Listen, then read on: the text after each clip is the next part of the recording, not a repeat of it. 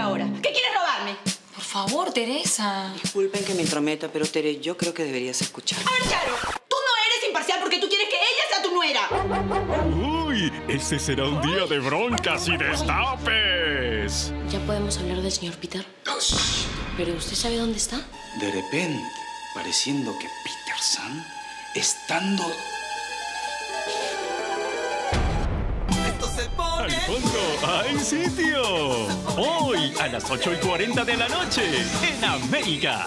Yo ya no puedo seguir esperando, Victoria. Saliendo para allá. Besos.